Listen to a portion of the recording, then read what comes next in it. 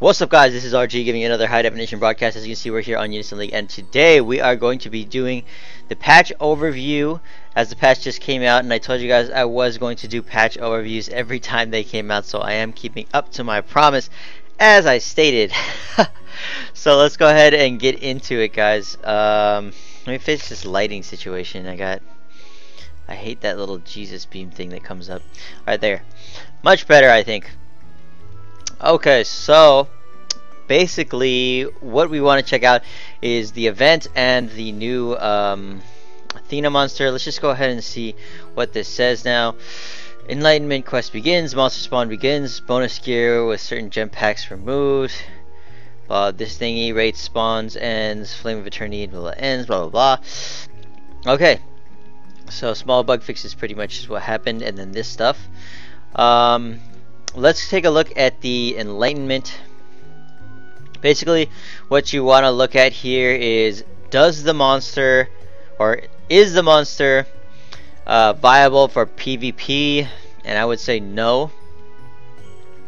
Um, is the monster useful for yourself as a either priest or mage?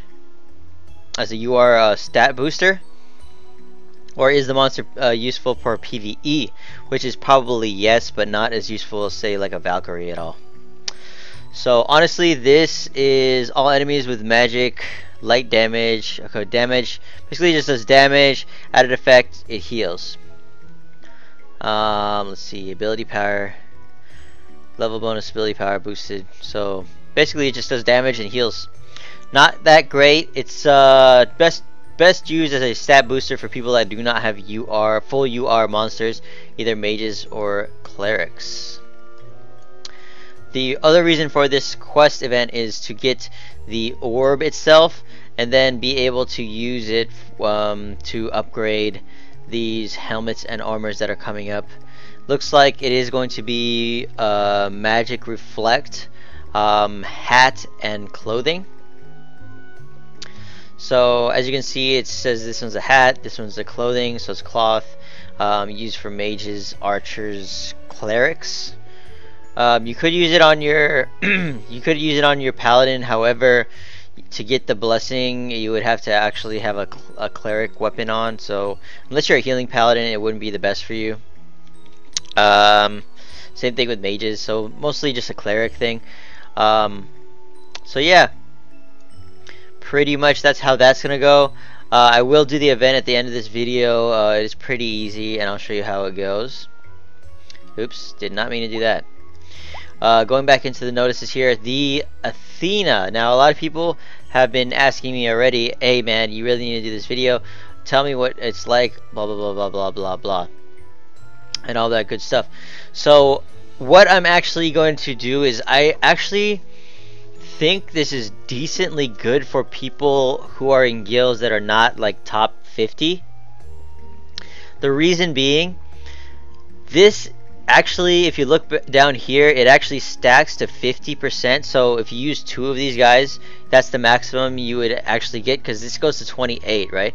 20 is the base, I believe, and then it goes um, plus two every level. So it starts have a level one, plus four levels, that's eight so it's 28%, right? Because it's 2% per level. So, if you use two of these guys that are level 4 skill or higher, you will get max buff. Um, so, the max buff is 50% cooldown reduction, meaning it says right here, example is if there's a 9 second cooldown and it's reduced by 20%, then it reduces to 7.2 seconds. The cooldown reduces to 8 seconds because it rounds up from any decimal point. So that's something that you need to uh, look at. Also, something that you also need to look at is the abilities that it affects. Uh, these abilities are not affected right here. So any of these abilities, pretty much any buffing ability, um, Ether Exchange, Cheer, uh, Charisma, the stuff that would be incredibly overpowered if they were um, affected by this cooldown uh, is actually prohibited to be used. Uh, or actually it can be used but it, it, it, just doesn't affect it so the, the buff doesn't affect it So that's how that works. The reason I'm saying this is really good for people that are in, in like top 100 guilds is that pretty much now anybody that has two of these guys in a guild It has five CB archers that are like around 45 45 so 45,000 uh, magic attack 45,000 attack. Around that area even maybe 40 40 could probably one shot the crystal at its current state. Um, and the way you would probably do it um, is say you have your archers in the front line right? And you just attack them attack them and if you kill them that's fine. And you try to get, uh, kill the crystal after that. But if you die you're getting unison from those deaths right? So your archers are getting unison from those deaths. Once um, they've they've killed you you can go back into that um, next round after you've uh, guild you know bonded and got your uh, unison up all the way. Go back into that next round with three Marduk and two of these guys. It basically will wipe them unless they have all 30 cost unisons up, which they probably won't unless they're paladins or they've been cheering the whole time with their front line. Uh, and then you can wipe their crystal in one go. Um, this is that's just like an option for people uh, that are in lower um, guild brackets. Um, there can it can be used different ways, but if you use this like three Marduk and two of these guys, make sure these two guys are at the end of the unison other than that, even for PVE, it's it's not incredibly incredibly useful. Um, the the other option you can you can maybe do with this monster with the cooldowns is like, uh, say if you're in a frontline group, you use three of the unisons that you have on your front line, and then you save the last two here, uh, these the two of these Athenas. Uh, once those three front lines have finished, then you use these two. So basically, you're gonna like um, cycle out the unisons, and this way the the first three people that use that unison, the first three, will actually attack before the two people use the Athena unison here. So the cooldowns will actually be affected during the unison. You get what I'm saying? So while while the light monster unison is is being is attacking, your cooldowns on those three people are cycling out. Like say if there's three mages and they use three meteor rains, right? And if those meteor rains in fact wiped the whole group, these unisons would still pop off and your cooldowns would be reduced to into the next phase, which is the crystal phase. So, you know, you can use it in different situations. I think the best way to use it is always at the end of a five a man unison, meaning that three of the other monsters would go first and then these two would go last, definitely. Or using it one by itself or just two uh, of these guys by themselves so that the cooldowns are maximized, right? And you would want to have um, your some skills already on cooldown so that when the cooldown timer affects, it's going down. I'm not even, I'm not actually 100% sure if it affects it as the cooldown is already in use if you get what I'm saying like say if you use the skill and then the cooldown's there like if you use this unison does then the cooldown become lower if it's already been used or once it's used that's when the cooldown comes down. You know you get what I'm saying? So basically I if you guys know what I'm talking about and you've tested it go ahead and tell me in the comments below. Um, I'm not 100% sure if I am going to be doing this um, because one of my friends has, has done it and he, he actually took him five five rolls of this to get a um, a monster which is upwards to 250 uh, gems, which is I just don't have that right now, and I honestly don't want to spend that much money to get something that I'm not sure if I'm going to use it. But if you guys got really lucky and said, hey, let me do a 3 gem roll, and you got it, or a 5 gem roll, I guess it would be because it's a monster spawn, and you got it, then tell me what's up with that, and tell me how it works. Uh, definitely test if you use, use like, say, uh, a 60 second cooldown like Purify, or you know a high cooldown like um, was it D Divinity, Divine Grace? No, um, it's called Dignity. If you use like Dignity or Wind of Courage, or Wind, Wind of Courage, it doesn't affect. So like Dignity or something that is has a high high cooldown. Tell me if it actually affects it, like Meteor Rain. Say if you use your Meteor Rain, if it affects it, you use your Meteor Rain, you use the monster, does it affect the cooldown less? Like, does it make it less? Like, oh, okay, since you've already been infected by this, I'm gonna make your timer less. It might, it might not. I'm not sure. So you guys test that out. Tell me how that works. If the seconds that I already ticked off will like um, be affected by the cooldown already, or it starts at um, you know that maximum that the 20% had already uh, taken down. Tell me how exactly how, how, it works. If I come up with that info before you guys, I will put it up. But um, for right now, I don't have that info um, readily available. So tell me what you guys think about this uh, guy. Tell me what you guys uh, know about uh, how the cooldowns work, how how the skill works, and tell me what you guys would do as a combo for this in the comments below. I would really appreciate it. That'd be cool. Um, in terms of the patch, yeah, that's pretty much it. So I'm gonna go ahead and get into the video now of the um, the event here. So I'll go ahead and go into my gear sets. I'm gonna equip the event.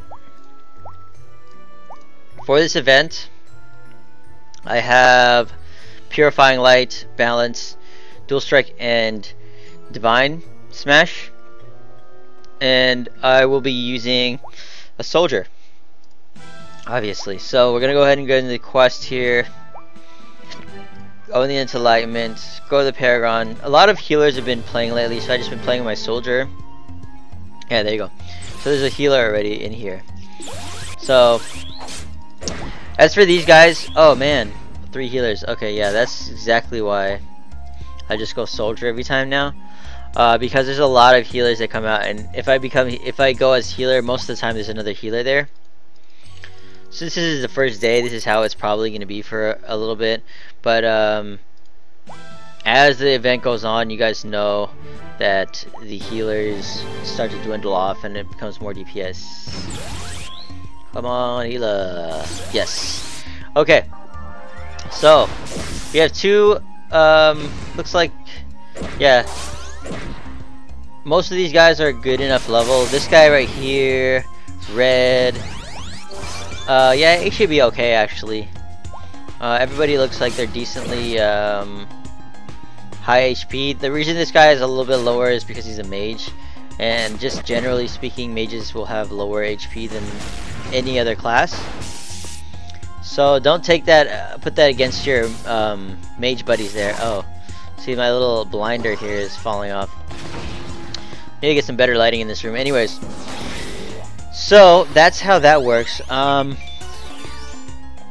this next one, you definitely want to switch targets and kill the knight first a lot of people will go um, for the popos uh, or the pasas, the popos, the pasas uh, first, which is actually the wrong thing to do because you want to be able to kill off this guy. Alright, so he's asking who has haste. I don't. Uh, I will also put a O up because I do have haste. Usually the O or the um, thumbs up is how you determine, hey, I have haste. When ask, somebody asks that, who has haste, just put up the O if you do it have it, put up the X if you don't have it, usually. Just uh, something to uh, go by, something that a lot of people do. So, we have the knight over here getting killed, little uh, pasas slamming their faces and mustaches against you. Uh, doesn't really hurt, just looks really weird. So, just basically killing off this uh, knight guy and then you're going to be waiting for a while. So once this guy is dead, you're good to wait. Uh, you want to go ahead and yeah, let let this guy let this uh, cost go up to around 75 to 80 percent. Or yeah, I guess it would be percent too because it's about the same thing. So cost 75 or 80 cost because it's 100 costs. Same thing as percentages, right? So yeah, that that's pretty much where you want to go, 75 to 80. So you're just sitting here letting the little mustache pasa smack you on your face with his face and chilling. Um, the best unison to use for in general for event quests is two Valkyries and uh, three haste. The three haste uh, usually would be it would be nice if you can have three um, uh, Fines, or you can have like two Jabberwockies and one Fine because the Fine will take care of the debuffs and the status ailments as well as heal. And then the Valkyries, if you have like say one uh, or two Wind Valks, that's nice.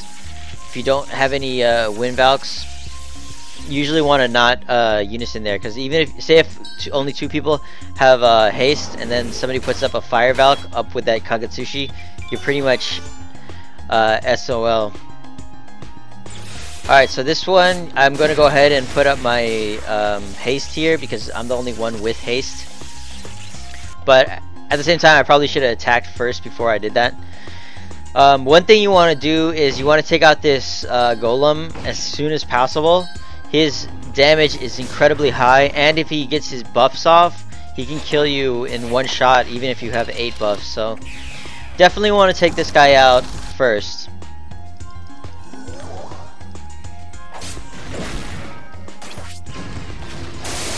uh, and I'm basically just looking to see if he has uh, the buff up um, and the buff is called um, like beast mode revise I believe Mass Destruction. So this is the one that kills you.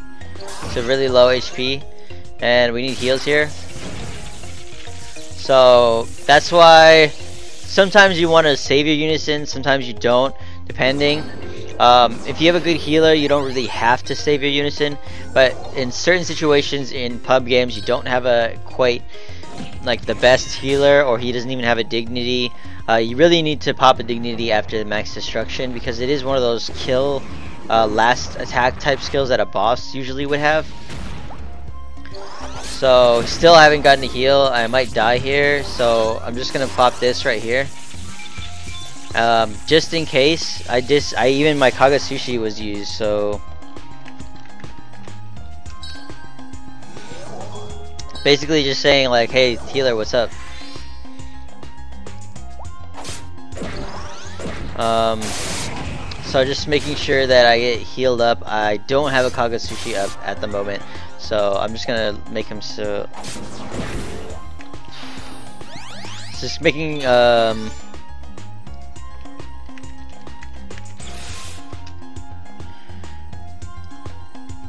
Alright, so basically, um, oh shit, I mean crap, I use balance, so that is not a good way to go, but um, basically it's just gonna be a, a, waste of cost for me right now.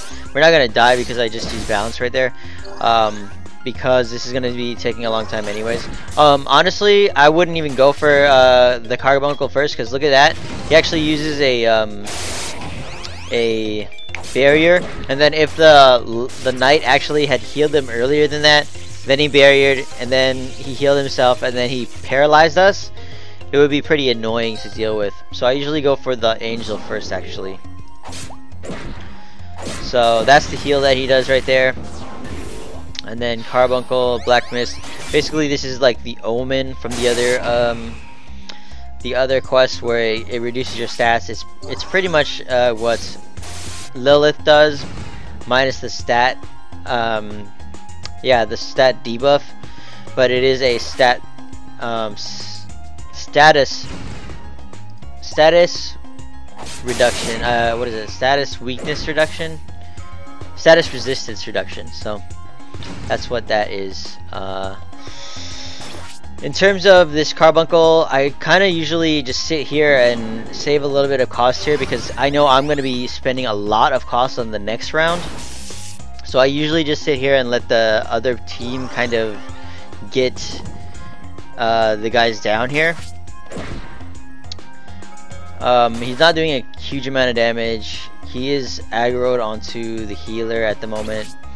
So I'm just saving my cost here, making sure that I will have a huge amount of cost and will be able to control the next round uh, with ease.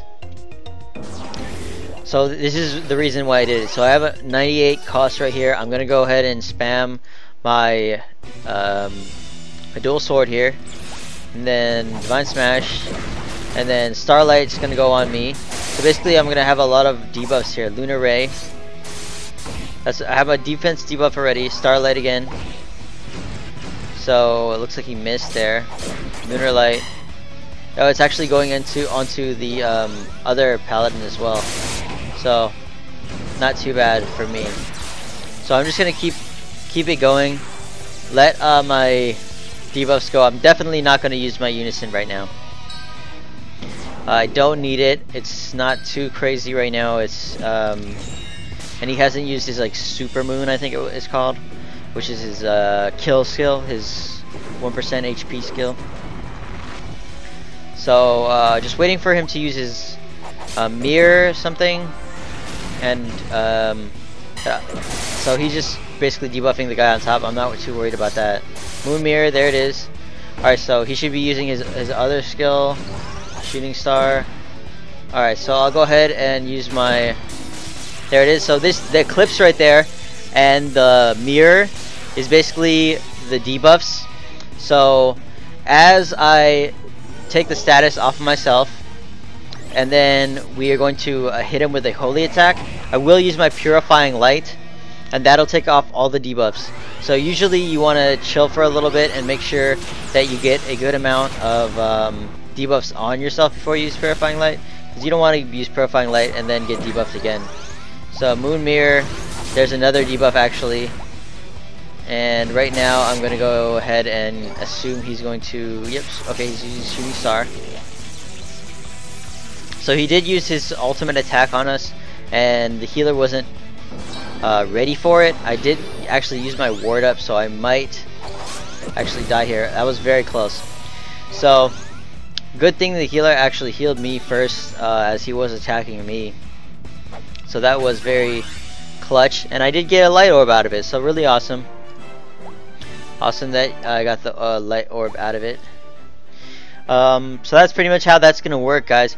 Um, most of the time, it's better to have one uh, soldier, honestly, because the soldier isn't the highest DPS in the game. He's used to attract aggro, and do a decent amount of uh, DPS as well as having good support uh, skills like balance and purify. So kind of threw me off that there was two soldiers. They were attacking two different. Uh, he was attacking two different targets. Probably threw the healer off a little bit too. Um, anytime you're a healer and you don't know who he's targeting, or uh, it kind of gives you a you know like panic mode where like you're sitting there and you're like, oh, I don't know which one I should focus. I'm not sure uh, what I should do. As you can see, um, yeah, like I said, Red, he was 81. He had an 83k gear score. Uh, not the best uh, person to have with you, but at the same time, uh, not the worst. As you can see, he did actually die on this. So, um, you know, it, it's really it's really up to you guys if you want to like quit on these type of people but it's not that bad if you have somebody some people like around this gear score area. Like this guy's level 98 and he has a higher gear score uh, than a lot higher gear score than this 96 so sometimes it depends um, who you're with so that was pretty decent group that was a pretty decent group it wasn't the best group um, I don't believe this guy had digni uh, dignity, but I'm not 100% sure. Healing was a little bit uh, lacking, but it wasn't too bad. So, as you can see, guys, uh, that's pretty much how the run goes. Uh, you can do a lot of public quests or pickup group quests, um, and get a decent amount of orbs this way. So just keep on, uh, keep on trucking and keep on trudging through these um, these event quests and you should be able to get the orbs and monsters that you desire as well as the gear and upgrades. So that's about it for this one guys. Um, definitely like comment and subscribe if you can. It would be very helpful. And uh, I'll catch you on the next one. As always thank you guys for watching and take it easy. Peace